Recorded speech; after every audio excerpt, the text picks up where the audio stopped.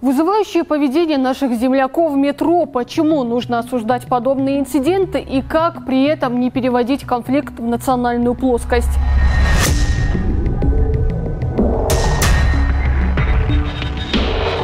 На полях из-за дождя гибнут посевы и портится урожай. Дело может дойти до ЧС.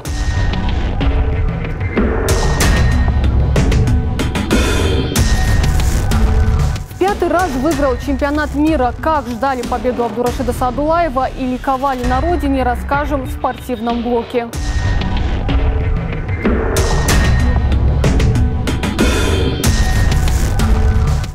На пчелах можно спать. Для чего и зачем? Смотрите далее.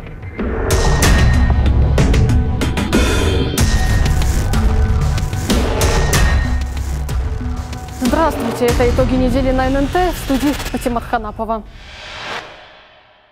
На неделе инцидент с участием молодых людей из Дагестана взорвал российское информационное поле. Напомним, трое уроженцев нашей республики избили парня в московском метро. Правонарушители задержали. Дагестан дружно осудил недостойное поведение земляков. Муфтият выразил и свою точку зрения. Подробнее в нашем сюжете. Удары руками и ногами жителя Москвы Романа Ковалева жестоко избили дагестанцы. Нападавших было трое. По словам очевидцев, молодые парни зашли в метро и начали там буйствовать, приставать к девушкам.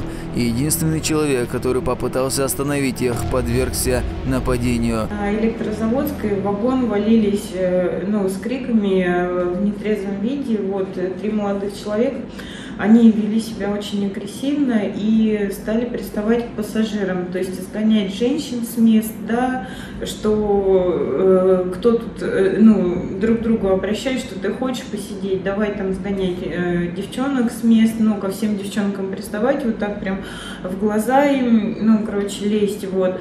После инцидента молодые ребята из Дагестана попытались скрыться, но полиция очень скоро с помощью камер видеонаблюдения задержала преступников. Им оказались Магома Алихан Магомедов, Ибрагим Мусалаев и Гасан Залибеков. Ранее судимые драчуны сознались в содеянном. Вину свою признаешь? Вину признаюсь. Содеянным раскаиваешься? Раскаиваюсь. Что были задержаны? За драку. Вы какое участие принимали в драке?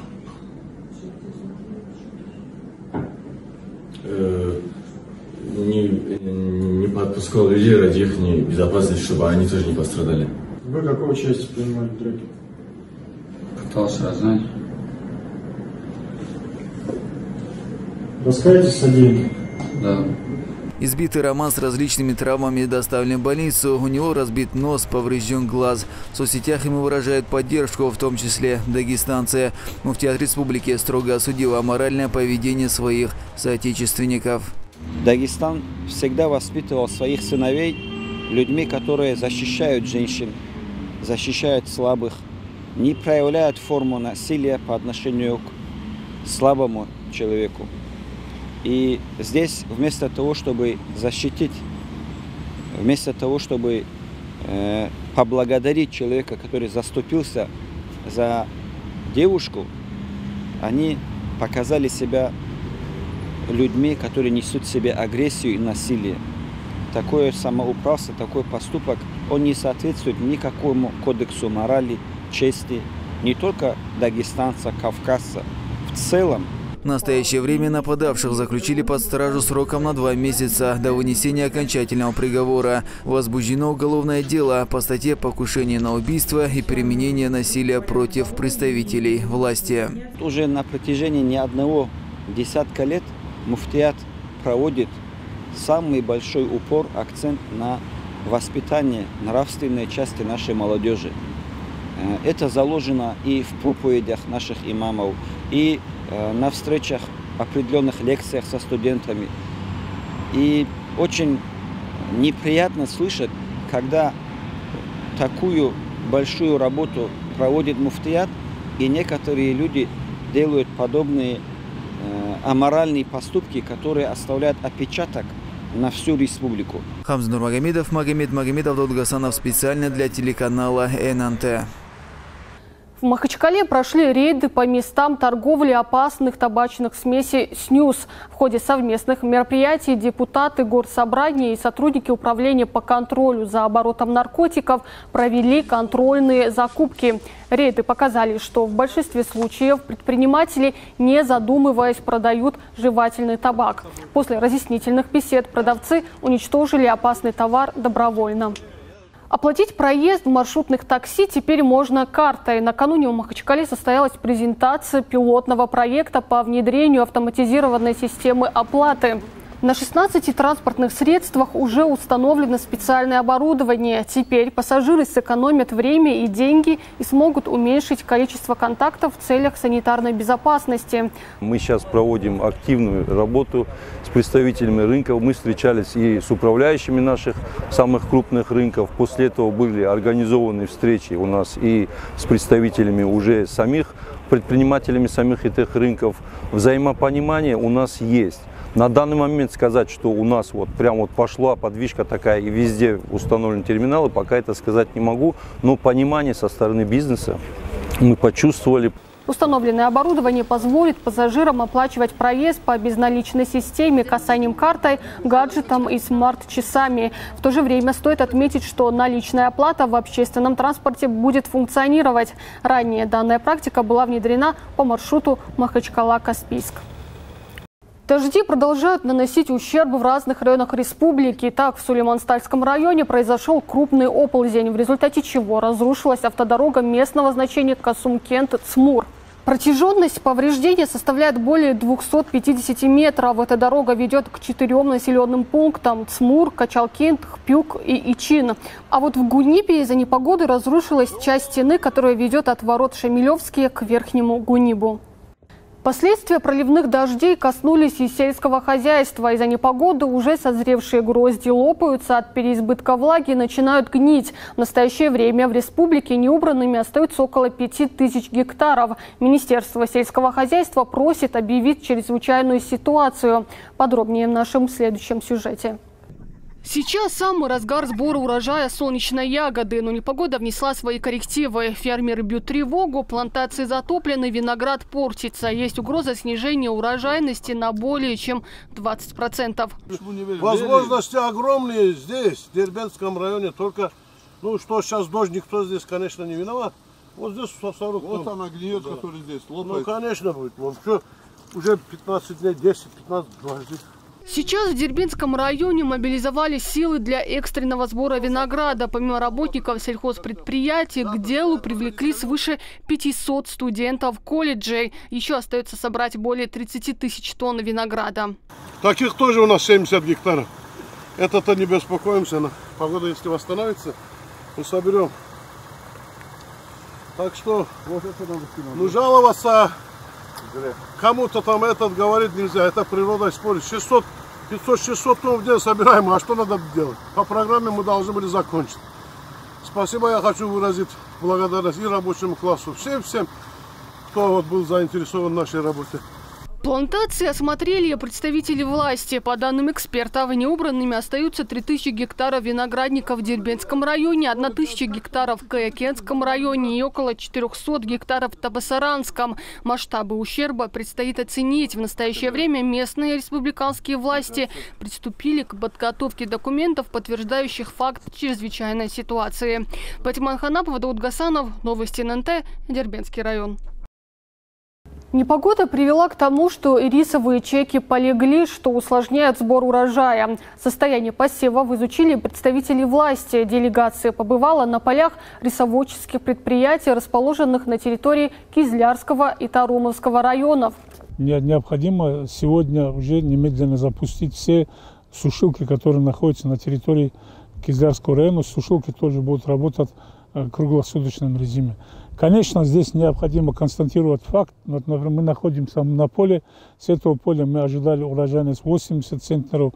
Сегодня практически здесь с этого поля можно будет собрать только 20-25 тысяч центнеров. Потому что идет осыпание риса.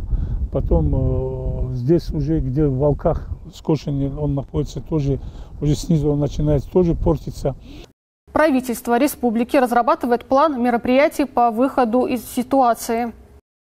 Окажут ли власти Дагестана поддержку пострадавшим аграриям, как оценивается ущерб и будет ли в связи с этим дефицит на прилавках Дагестана? Эти и другие вопросы сегодня будем обсуждать с первым заместителем министра сельского хозяйства Дагестана Шариповым Шарипом Исмаиловичем. Здравствуйте, э, Шарипа Исмаилович. Мы знаем, что эта неделя у вас э, была достаточно насыщенная, проблемы там с виноградом из-за дождей, э, зерновыми культурами. Вот расскажите, пожалуйста, какая ситуация на данный момент? Вы объездили эти проблемные точки, что вы скажете?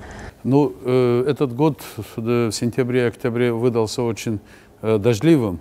Э, достаточно сказать, в сентябре этого года э, в том же Кизлярском районе, где размещена большая часть риса, выпало 3,3 раза больше, чем э, от средней многолетней нормы, и 33 раза больше, чем было в прошлом году в сентябре. За одну неделю октября практически среднемесячная норма выпала. Такая же ситуация в Бабаюртовском, Хасюртовском, Дербентском районе – почти трехмесячная норма за месяц. И это, естественно, а ведь сентябрь – это время уборки урожая. А для Дагестана это наши коронные культуры, виноград э, и рис, э, уборка которых как раз попадает в эти месяцы. Мы рассчитываем убрать в сентябре и в октябре, но теперь эта погода внесла серьезные коррективы в наши планы. Дожди, можно сказать, не в тот период начали лить? Да, именно не в тот период. Но для других отраслей, допустим, для того же животноводства в северной зоне, это Нагайском районе, Качубейской зоне, у нас выпало 2-3 раза больше, чем в прошлом году от средней многолетней нормы. И сегодня проехал по этим районам, наши пастбища, лет 30 наши животноводы э, не видели такого травостоя. То есть нам будет уже э, зиму, э, мы э, надеемся, пройдем без потерь. В прошлом году вообще не было травостоя. Мы с сентября начали кормить, э, расходовать сено, что было припасено на зиму. Но сегодня наша головная боль, как убрать виноград. Это у нас около 7 тысяч. В Дагестане к уборке 22,5 тысячи гектаров – Э, виноградников. Нам убрали 66%, осталось убрать 7 тысяч гектаров. Из них 2 тысячи личных подсобных хозяйствах, 5 тысяч э, это в товарном секторе, из которых 3 тысячи в Дербенском э, районе, это главная территория выращивания винограда, и тысячи в Кайкенском районе. Несколько сотен в Табасаранском и ряде других южных районах. Ну, тут, наверное, важно отметить, что проблема не только с уборкой, но и с урожайностью складывается, то есть уменьшается, наверное. Абсолютно. Мы в этом году э, рассчитывали, Министерство сельского хозяйства рассчитывало э, превзойти результат прошлого года. А вы знаете, в прошлом году мы собрали риса 111 тысяч тонн. В истории рисосеяния Дагестана такого показателя не было. Если бы не дожди, вы бы смогли, э, то есть какие у вас были? У нас планы были в этом году риса собрать не менее 120-125 тысяч тонн. Это э, рекорд э, всех времен. А по винограду тоже, вы знаете, в прошлом году мы собрали 209 тысяч тонн, обогнали Краснодарский край. Сегодня мы имеем 165 тысяч тонн винограда. Э, где-то на кустах 50-60 тысяч. Если нам в ближайшее время погода позволит, да, вот знаете, вот особенность и вред. Э, много влаги, это э, начинает поступать виноградины, ягоду влага, они лопаться, а там, где лопается, уже гнил и разные грибковые заболевания, зайти в поле защитить невозможно, тем более перед самой уборкой. Тут, естественно, возникают вопросы качества. И поэтому виноградари в тревоге такого затопа э, на виноградниках не было. А переработать их тоже нельзя? То есть... А, ну, при определенных условиях сложно. Ведь виноград для переработки нужно бывает в определенные часы, а какой-то в ночное время, когда после того, как сошла роса, э, температура средняя должна быть там 18-21 градус. Это ведь целая э, наука э, убрать виноград. Естественно, там для премиальных там э, переработок возникают вопросы. И если одна э, ягода начинает гнить, она же ведь сразу распространяется на э, всю гроздь. Министерство сельского хозяйства совместно с администрациями э, Дербенского, Кайкенского и ряда других районов предприняли меры мобилизовать. Ведь сегодня просто э, даром никого э, не выводим, потому что э, все вокруг уже э, оно имеет э, собственника. Э, соответственно, попросила поднять цену за килограмм собранного винограда. От, начинали 2 рубля, 3, 4, а в каких-то уже и 5 рублей дают за килограмм. Есть возможность подзаработать работникам бюджетных учреждений, работникам э, колледжей, э, что размещены в Дербенте. Э, мы проработали этот вопрос с Министерством образования и науки. Понимание есть. Дополнительно готово сегодня э, более тысячи человек выйти, чтобы ускоренно э, собрать э, виноград, который мы сегодня имеем. Ведь получить продукцию это очень тяжело, там огромные затраты. А рис, вот допустим, сравнить, гектар э, от обработки почвы до уборки от 45 до 70 тысяч рублей уходит, в то время как зерновые, э, пшеница озимая, 15-20 тысяч. А по рису у нас э, мы убрали всего около 5 тысяч гектаров из 26 тысяч. Побывали вчера, побывали позавчера еще в тех районах, в таком, в некоторых э, хозяйствах э, риск как будто припечатан к земле. Э, его оттуда э, уже начинает прорастать, уже прорастать начинает.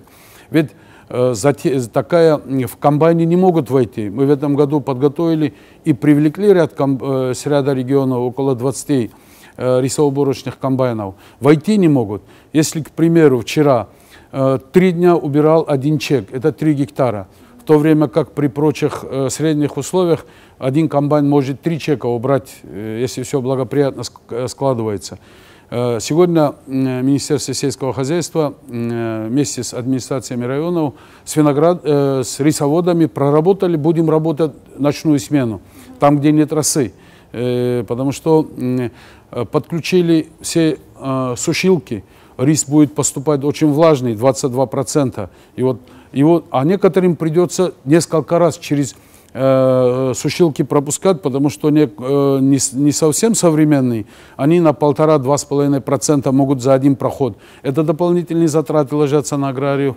Э, энергии, это рабочая сила, но э, время мобилизоваться. И такую задачу мобилизоваться и организованности мы сумели. Мы в Министерстве сельского хозяйства создали оперативный штаб, возглавляю который я, э, по э, оперативному реагированию на поступающие сигналы, отслеживаем э, конкретно в каждом хозяйстве, что происходит. Сегодня уже в ряде рисоводческих хозяйств вышли э, комбайны, Э, с регионами юга страны тоже мы прорабатываем возможность переброски э, в Дагестан э, зерноубороч... рисоуборочных комбайнов.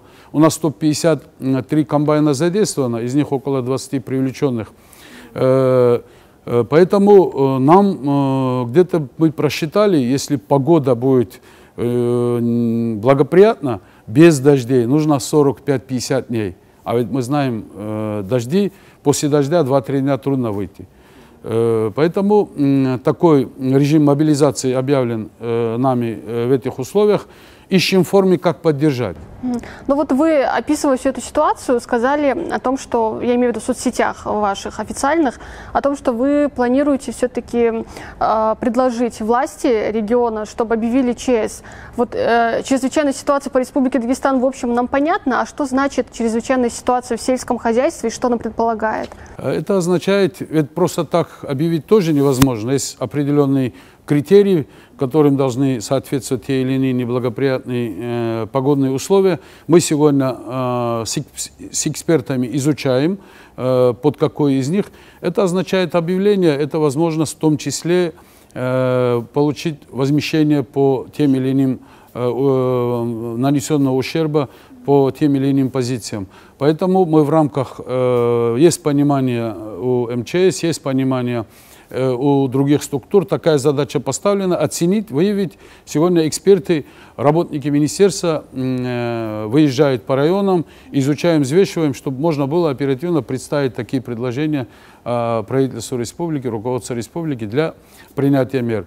Мы параллельно ищем, как смягчить, как в части продления, вот много, у нас сегодня проблема низкий уровень обеспеченности техники.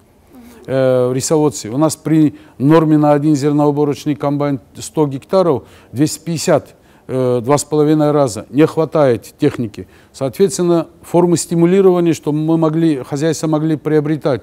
Есть такое понимание правительства, и министерству дано поручение оперативно проработать. Те, у кого на лизинговой основе техники, могли, чтобы, например, продлить э, вот, оплату, э, сроки лизинга, эти формы. Но с другой стороны, мы сегодня с аграриями, Министерство сельского хозяйства говорит, надо больше акцента на технологии. Э, ведь сельское хозяйство – это рискованная сфера деятельности. Тем более для Дагестана. Э, это зона рискованного земледелия практически во всех районах. И тут нужно уметь маневрировать. Технологии, сорта, значит, надо выбирать э, устойчивый к полиганию того же риса, ранний и, соответственно, выстроить работу организованно, чтобы каждый погожий час использовать это тоже сигнал, это тоже урок. Мы, как пример, в прошлом году, вы знаете, какая зимовка сложная была, сделали выводы, Министерство сельского хозяйства сумело совместно с администрациями переформатировать. Мы в этом году уже более организованно подошли э, к зимовке э, скота. И сегодня вот эта непогода э, э, внесла определенные коррективы. Перегон, ведь начинается массовый перегон, э, и застало многих врасплох где-то дороги смыло, снег выпал, э, и тут э, в таком напряженном режиме главный аграрный штаб республики работает. Э, спасибо аграриям, которые несут основную ношу, руки не опускают и ищут формы. И мы сегодня говорим, эти испытания, они дают нам в том числе возможность мобилизоваться, сделать выводы и адаптировать свою технологию э, именно к таким э, условиям. А, вот что касается аграриев, э, ущерб-то в основном нанесен им, можно так сказать. Вопрос такой, вот как вы просчитываете этот ущерб и есть ли какие-то возможности им их возместить? Мы сегодня, ущерб, безусловно, есть. Мы вчера имели возможность на рисе Э, сегодня э, уже э, идет полег почти на 60-70% полигания отмечается. Это означает, начинает прорастать, в воде находится. Производительность комбайна упала в три раза. Это означает, качество будет ниже. Ведь многие рисоводы, большинство, семена на следующий год тоже готовят э, из этого самых лучших посевов. Возникает э, необходимость приобретения, в том числе э, на стороне семенного на следующий год. Поэтому мы сегодня в разрезе каждого хозяйства, э, пока рано какой будет ущерб, мы сегодня э, условия действительно очень сложные, в сложных условиях проходят. И мы оцениваем э, по каждому хозяйству, по каждому полю, э, какие могут возникнуть э, снижение урожайности, снижение валового сбора, э, и чтобы э, можно было уже проработать меры, в какой форме что получить. Но тут тоже опять есть инструмент такой, как страхование. Сельское хозяйство, рискованный бизнес, надо страховать. Мы впервые в прошлом году сумели э, призвать наших ряд аграриев, это около 10 хозяйств, э, страховаться. У нас вот этот институт страхования, агрострахования очень слабо развивается, но мы видим, иначе нельзя. Если имеешь заключение договор с соответствующей страховой компанией, наступает страховой случай, ты получаешь возмещение. Поэтому сегодня э, не, не пожалеть эти 250-300 рублей на гектар э, зерновых, э, чтобы когда возникает такой э, момент, к тебе на помощь пришла страховая компания. Бюджет субсидируется почти 70% затрат э, хозяйств – на страховые выплаты. В регионах России сегодня имеет настоящий бум вот этого аграрного страхования, и мы призываем наше хозяйство идти э, по тому руслу, э, где... Вот в прошлом году, когда была ситуация с э, теплицами, вот э, им говорили, если вы были бы застрахованы, вы могли бы возместить. Но э, владельцы этих тепличных хозяйств заявили о том, что вот негде, нет таких компаний, якобы. Э, у нас э, сегодня есть несколько, да, их тоже не хватает. Э, есть у нас ряд компаний, филиалов федеральных компаний, которые работают. Э, правительством поставлена задача, чтобы расширить э, круг присутствия на территории республики таких устойчивых компаний и усилить работу с хозяйствами. Ведь э, многие проблемы в коммуникации разъяснять выгоде, разъяснять пользу э, э, страхования, поэтому такую работу сегодня Министерство сельского хозяйства по всем направлениям активно э, проводит. Ну и вот последний вопрос. Э, будут ли какие-то проблемы у нас на прилавках, может дефицит каких-то продуктов в связи с этим? Вы знаете, нет, сегодня мы видим основная продукция, основной урожай практически убран. Поэтому Дагестан себя, рис на человека требуется где-то 7 килограммов рисовой крупы. Мы уже начали активно и на экспорт, и в России любят наш рис этот сорт э, длиннозерного, э, удлиненного, э, только у нас он, возможно, в наших климатических условиях. Поэтому сегодня риска дефицита, снижения существенного объема не отмечается. Об этом же говорят те же индексы цен. В этом году в целом в мире продовольствие выросло, но в России э, заметно ниже. Поэтому Министерство сельского хозяйства тоже отслеживает Э, ситуацию э, по, э, с динамикой цен и объемов поставок, тут угрозы нет. Мы нам, нам сегодня нужно вот эти две позиции убрать и вовремя провести озимый сев, потому что по э, рису после его уборки мы должны подготовить почву и озимый сев несколько сдвигается. Ведь одна проблема вызывает череду других. Это э, требует большей организованности, требует Эм, э, вовлеченности. И такую сегодня э, задачу перед нами стоит. Мы эту работу сегодня э, стараемся не подвести и выполнить эту задачу. Ну, на этой ноте, наверное, мы завершим. Спасибо вам. Спасибо огромное.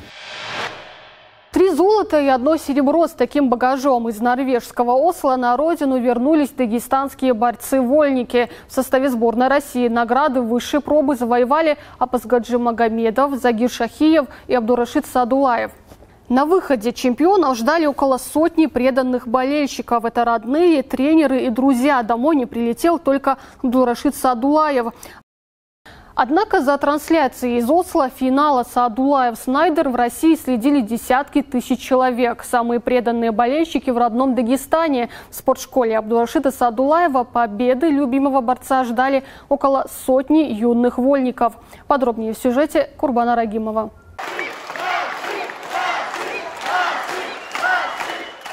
Вот так юные болельщики реагируют на каждое удачное действие своего любимца. Абдул-Рашид Садулаев уже в четвертый раз встречается с Кайлом Снайдером. Сомнений в победе ни у кого нет, но градус напряжения высок. В атаку танк пошел во втором периоде. При счете 6-0 зал буквально взорвался овациями.